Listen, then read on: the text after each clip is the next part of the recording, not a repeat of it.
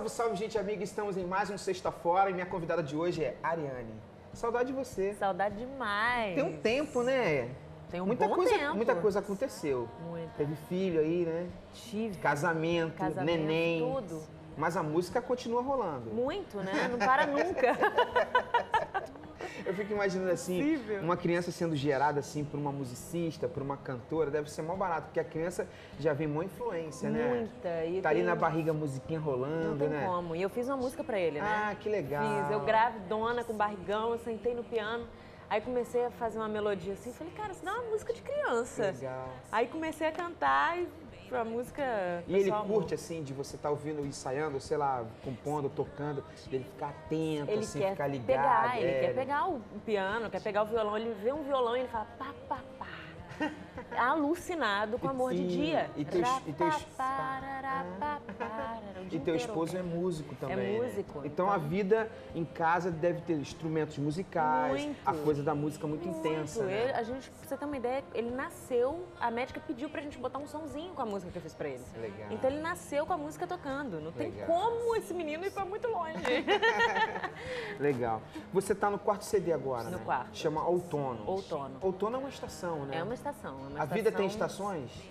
Tem, Tem estações. tem, Né? tem. Outono é a onda das folhas, assim, É, né? outono é uma estação de mudança, de né? mudança, né? É uma transição. Você está saindo do, do verão e indo para o inverno. Uhum. Então, é, na minha cabeça, o inverno é um lance meio desconhecido, assim. Sim. Você não sabe, então você tem que se preparar, se preparar. para. Tem aquela né? história de criança que a gente, que a formiguinha se prepara para o inverno, né? É isso aí. Que pode vir um inverno tenebroso, tem que Exatamente. estocar comida, tem essa Exatamente. coisa, Tem, né? tem. E o outono é a mudança. É a mudança. Você está saindo de uma estação, assim, muito legal, você está ali confortável, e aí, de repente, você fala, oh, peraí, Tem a ver com a tua coisas carreira isso? Tem tudo a ver essa com a minha metáfora? carreira. Tem, tem de você, porque do sucesso deserto, assim, você chega num momento muito consolidado, assim. Você Isso. vem como uma menina prodígio e tal. Me lembro de você no lance do, do DVD da Fernanda Brum, Uhum. mas aí veio a consolidação da tua carreira, Uhum. das canções, dos teus CDs. O outono é uma coisa assim de um novo momento? É um novo momento. É uma mudança total, né? Agora é. Eu sou casada, eu já era casada na música da minha vida, mas assim, agora eu sou casada e mãe, né? E eu, tô, e eu saí da MK, então é toda uma. É uma mudança, Uma bem mudança. grande. É, né? E aí, e fala é, o outono também, se as folhas não, se as árvores não perderem as folhas, elas não sobrevivem ao inverno. Então o outono é uma estação de perda Aham. para que ganhe, né? Legal. Tem uma coisa de Deus na nossa vida, às vezes, assim, né?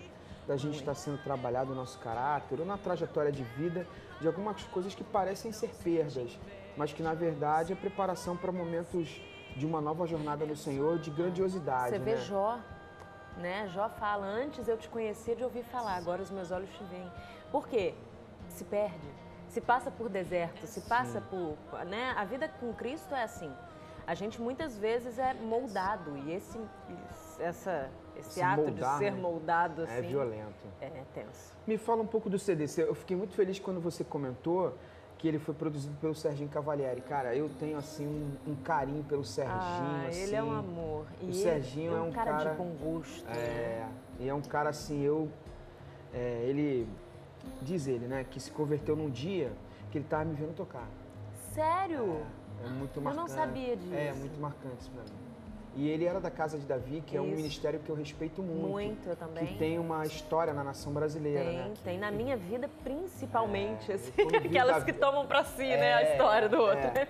É. Não, tipo, marcou assim, né? Nossa, A muito, minha vida e eu acho que a, a- a história da música cristã no Brasil, É, né? A é. Casa de Davi. E o Serginho era o guitarrista da Casa de Davi. E pelo fato dele ter essa história assim comigo de vínculo, eu tenho o maior carinho por eles. Ele é um amor. E aí me fala do repertório e da condução dessa produção. Você já tinha canções guardadas? Foram canções que foram aparecendo fruto da produção? Como foi a elaboração do repertório para o outono? Então, é, tinha uma música que eu já queria gravar desde o tempo de voltar. E ela se chama Sem Deus. Sem Deus. Sem Deus. E essa foi a primeira música do repertório. O, o Evandro é alucinado por ela. E ele falou, amor, dessa vez eu não vou abrir mão. Essa tem que entrar. Essa tem que cantar. Aí a partir senhor. dessa começam. E aí, o, na verdade, é, essa já tinha um, um, sonho, assim, né? Mas tinha uma outra também que eu já tinha guardado para mim, que é O Agora e o Futuro, do Edmar Filho. Uhum. Não sei se Esse compositor é famoso. É, e ele é muito bom. Uhum. Ele fez a, é uma música poética, assim, linda demais. Grava pra uma galera, tem música pra uma galera. Tem, tem. Uhum. E aí ele me mandou essa música, eu fiquei apaixonada. E aí a gente decidiu gravar também. É, a princípio eu tinha pensado, isso eu não contei pra ninguém. Uhum. Mas a gente tinha pensado em talvez fazer é, um CD também mesclado com algumas músicas do clássicos, né? Porque a gente fez um DVD em Belo Horizonte uhum. com os clássicos da música cristã, cristã, sem ser cantor cristão, né? Sim. E, e Inário. Era, eram Ademar de Campos, ah, os Logos legal. e tudo mais. Uhum. Ficou incrível. Mas aí a gente pensou, falou, poxa, acho que não, acho que a gente tinha que soltar um negócio inédito. novo mesmo, uhum. inédito. E aí as músicas foram chegando. Eu estava conversando com a. Eu sou muito amiga da Lorena Chaves, né? Uhum. E a gente sentada e na mesa. a gente estava conversando da Lorena, nem sabia é. disso. Né? Uma... e aí eu conversando com ela e ela falou: Ah, amiga, eu tenho uma música aqui que eu nunca tive coragem de gravar. E ela me mostrou. Chama-se Vinde a Mim. Legal. E é linda a música. Então, assim, as coisas, o repertório foi, foi mesclando. E eu fiz uma música também. Legal. Eu fiz há muito tempo, eu não estava nem grávida ainda. Eu acho que tinha acabado de, de lançar a música da minha vida. E aí eu tinha feito essa música, porque é uma música. Eu, eu sempre, me, me, sempre me chamou a atenção a Bíblia ser humana. Uhum. Humana no sentido de não esconder é, a humanidade do, das pessoas Sim, ali, você sabe? vê o governo de Davi, né? É, o governo, é tudo... Para os judeus é o governo de Davi, tipo, filho de Davi, tem misericórdia de é, mim. E Davi é um cara que teve várias falhas e a Bíblia Exatamente. expõe a, Bíblia a sua expõe vida, né? tudo. Uhum. Isso é muito legal. E você vê os salmos também, você vê ali o cara pedindo para que Deus acabe com o inimigo dele, né? Que... Não, e quebrantando o coração. Quebrantado. É, e, e, aí, essa música minha é baseada em Salmos 42, que começa: é, As pessoas me perguntam onde está o teu Deus, porque as minhas lágrimas têm sido meu alimento de dia e de noite. E ele vem falando daquilo ali, e, e, para mim, no versículo 5, ele vem com aquele famoso texto, né? Por que estás abatido a minha alma? Por que te assombras dentro em mim? Confia uhum. no Senhor e eu ainda louvarei. Eu acho que ele começa a questionar a Deus ali, e depois ele para para pensar: peraí, olha tudo que Deus já fez na minha vida. Uhum. Olha aonde eu cheguei. Deus, peraí, Deus está em tudo isso, né? Então por que, que você está assim? Né? E aí eu fiz essa canção, chama-se Onde Está o Teu Deus, e tem a participação da Daniela Araújo. Ah, legal. Foi incrível. A Daniela Araújo. A gente está quase terminando esse bloco, mas você fez também um lyric vídeo, acho que é de outono, com o Marcos Almeida, né? Fiz. Você tá ligado essa galera bem, bem cult, é. essa galera fera aí, pô, caríssima. É, fui pra BH e aí conheci essa galera e fiquei assim... Foi especificamente com a canção Outono? Outono. Outono. É. Outono. Foi ele que fez pra mim, eu nem uhum. contei isso, mano. depois eu conto, né? Vai ter o um break agora, falar. posso falar? Então, ele. Eu falei com ele, pô, Marquinhos, fa... meu marido falou, Marquinhos, a Ariane vai fazer um CD chamado Outono. Aí ele respondeu com a estrofe. Que legal. Tem gente que tem as coisas assim fácil, né? Não negócio... entendeu um negócio desse? A gente vai para um break rapidinho, mas a gente volta no próximo bloco com mais Ariane nesse bate-papo maravilhoso. Você não pode perder, não zapeia, não troque de canal. Volto já.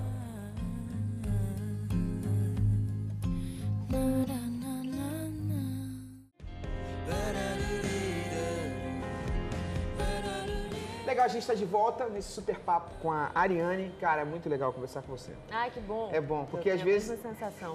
tem pessoas... Conversar com você, não comigo mesmo. Tem pessoas que. né? você trabalha um negócio de imagem assim, porque eu, eu tenho um olhar sobre você quando você chegou, do tipo assim, uma menina. Aí tem essa fase assim, mãe, esposa.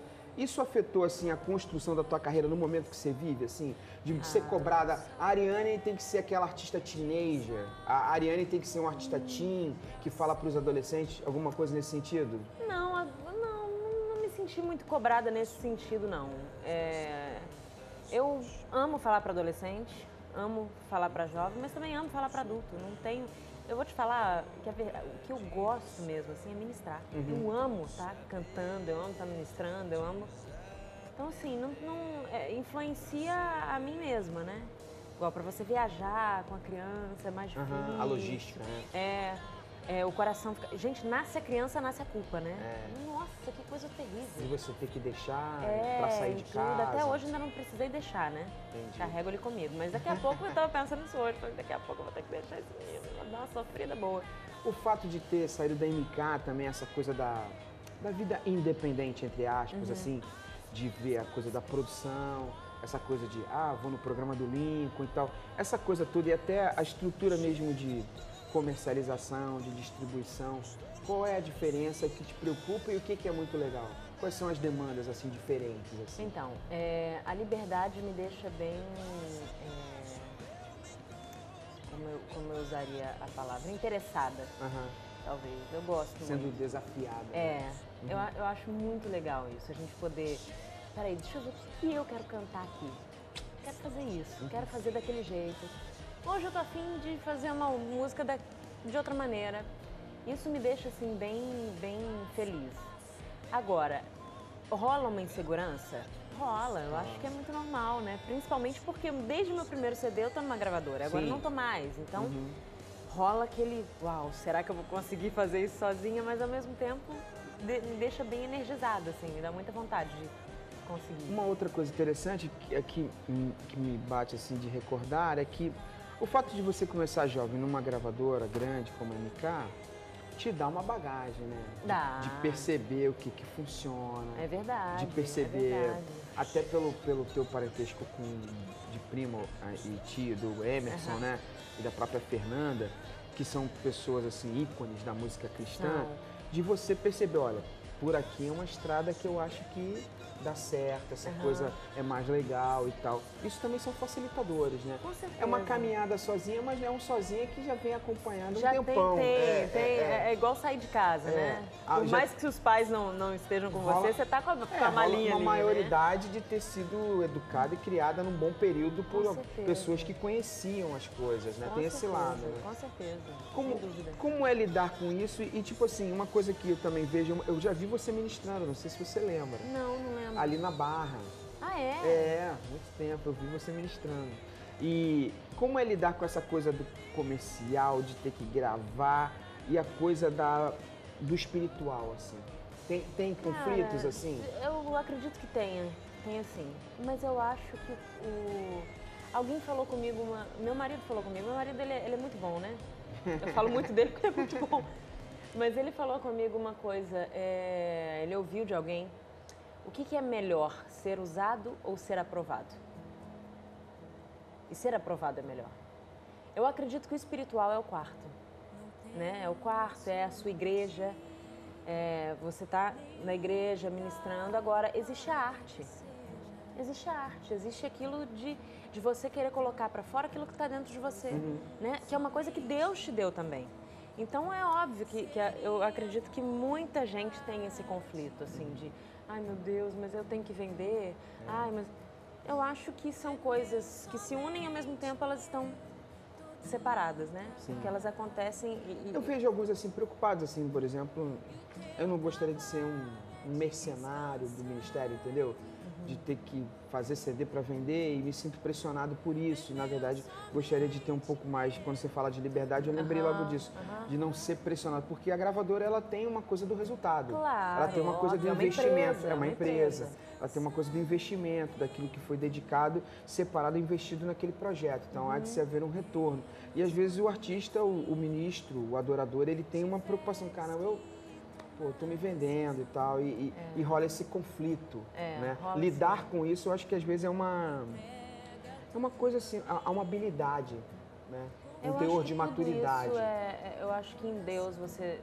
Quando você sabe quem você é em Deus e qual a direção que Deus está te dando, eu acho que você fica em paz. Uma vez Serginho, a gente conversando sobre cobrar ou não de igreja, isso Lance há muito cachê, né? tempo atrás. Há muito tempo atrás surgiu um, um papo desse na, na van. O Serginho tocava comigo aqui no Rio. Ah, o Serginho tocava? Tocava, Ah, tocava legal. comigo.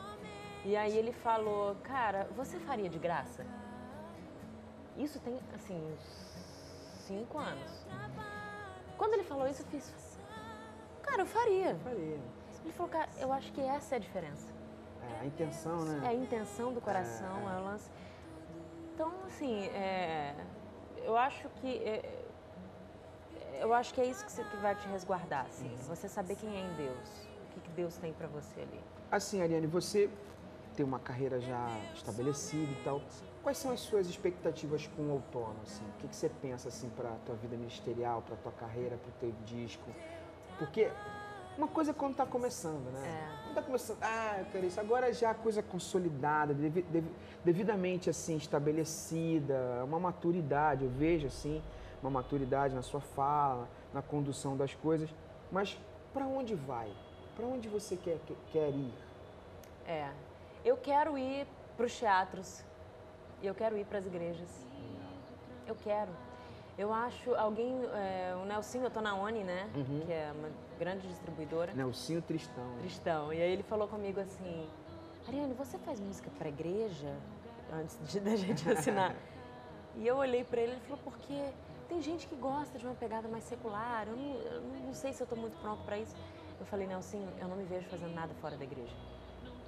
Eu não nasci. Eu super respeito quem faz isso. E eu uhum. acho que é uma galera, assim, cabeça aberta, que vão chegar a lugares onde eu não vou chegar. Uhum. Que são cristãos que decidiram fazer uma parada diferente. A gente citou dois aqui que são bem por aí. São, exatamente. O Marcos Almeida e a Lorena Chaves, eles têm um pouco essa pegada. Isso, é uma tem. coisa crossover. Isso. Né? Porque eu acho muito legal isso neles, assim, entendeu? Eles entenderam, eles falaram, cara, para mim isso funciona dessa forma. Eu quero chegar a outros lugares, eu quero atingir aquela galera que nunca, que nunca vai ouvir a Ariane. Uhum. Tem gente que nunca vai me ouvir, uhum. né? Que, que tem um certo preconceito. Sim. E eles atingem pessoas que eu não vou atingir nunca. Mas tem uma galera que gosta da Ariane. Mas tem uma galera que gosta da Ariane. É. E eu amo a igreja. Eu sou filha de pastor, né? Uhum. Eu nasci na igreja, eu dei os primeiros passos na igreja. Pra você ter uma ideia, meu pai estava pregando e me colocaram assim na, na porta e eu fui andando até meu pai, ele parou de pregar. Um negócio que tinha que ser, ter sido filmado, né? Pra gente mostrar aqui, um negócio chiquérrimo. Mas assim, é, então eu amo a igreja, mas eu também amo a arte, que é aquilo que a gente falou. E eu quero ir para os teatros, eu quero chegar e fazer um show completo num teatro e na igreja poder ministrar, assim. É, é, o que eu amo. Sempre muito bom estar contigo. Bom demais. Eu espero que você tenha gostado, porque tem mais música da Ariane. A gente se conta. Super valeu. Tchau, tchau. Legal, obrigado pela sua companhia. A gente vai ficando por aqui. Queria agradecer a Ariane, o carinho dela estar junto aqui com a gente. Muito obrigado. E aqui a você que nos assiste e que nos prestigia com a sua audiência. Para a gente sempre uma alegria. Não deixe de escrever e participar. Gostei muito dessa entrevista e tal. Repita por aí e tal. Dê a sua contribuição, a sua participação no envolvimento aqui com a nossa programação. Para a gente é motivo de orgulho e alegria. Legal, a gente fica com mais um pouquinho da Ariane com a canção Jesus. Uma coisa que me marcou nesse bate-papo, assim, de ensino para as nossas vidas é essa nova fase da Ariane em relação à família, né? Ela que é mãe agora e tem essa coisa de, de entender né, as responsabilidades e tal como mãe e não, entre aspas, não abandonar seu ministério em relação à vida de uma ministra de louvor e adoração.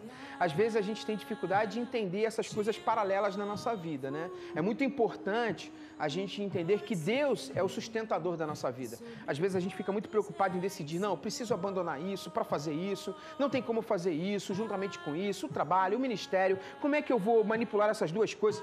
Entregue nas mãos do Senhor. Se Ele tem te chamado, Ele vai viabilizar o tempo e o sustento das coisas de forma paralela, de coisas intensas na sua vida que são importantes. O Senhor ele quer governar a nossa vida. A gente precisa entender isso e ter a humildade de entregar nas mãos dele aquilo que a gente acha tão importante para a nossa vida. Ele é o dono, ele conduz. Deus te abençoe muito, super valeu e tchau, tchau.